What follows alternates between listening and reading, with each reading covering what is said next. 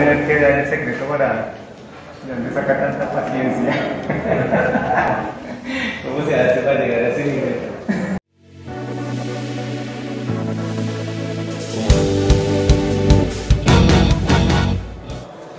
Bueno, señor, pues eh, quería también, pues bueno, empezar por preguntarle, tal vez usted conoce el, el refrán de que hay que soñar con ser obispo para llegar a ser cura, ¿no?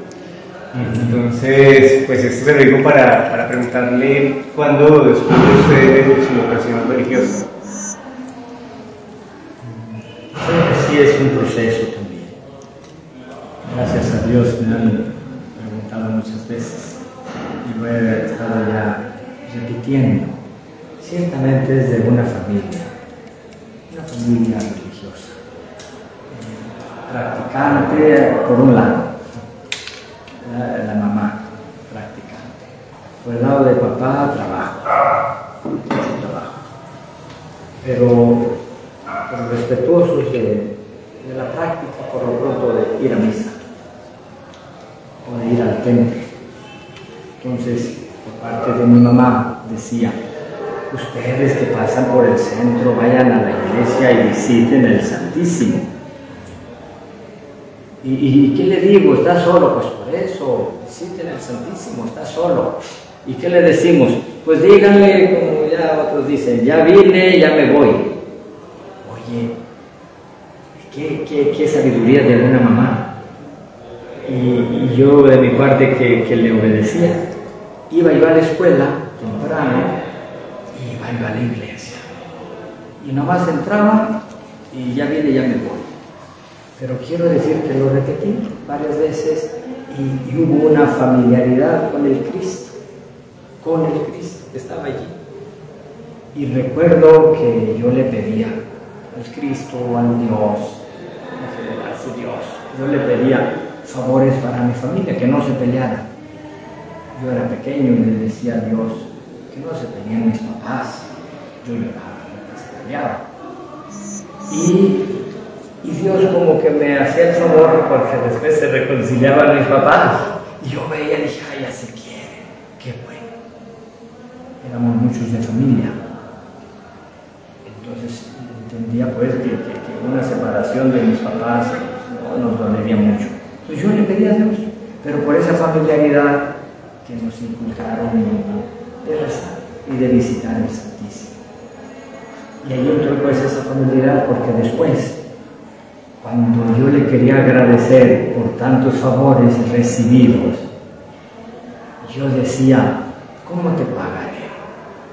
Dinero no tengo. Chiquillo todavía ni trabajaba. Pero yo chiquillo todavía le dije y entendí muy bien ya sé, a ti te gustan los corazones. Según yo, no sé quién me enseñaría que a Dios le gustan los corazones, pero te gustan los corazones. Y yo simbólicamente, simbólicamente me metí la mano al corazón y me lo arranco y dije, y ahí te va, es tuyo solamente. Pues, ¿por qué haciendo eso tan pequeño? Bueno, lo hacía. Y y después me, me, invitaban a entrar al seminario. Me veían que quería rezar o que rezaba. Entra al seminario. Por dos tres veces no, no acepté ir al seminario. Pero después cambié de opinión cuando el promotor, el párroco del pueblo, me, lo cambiaron. Yo dije, ¿por qué lo cambian? Si, si está trabajando usted muy bien aquí. Si quiere, buscamos firmas para pedirle a su superior que lo deje. Y entonces me dijo, no, Chuy, yo soy como un soldado.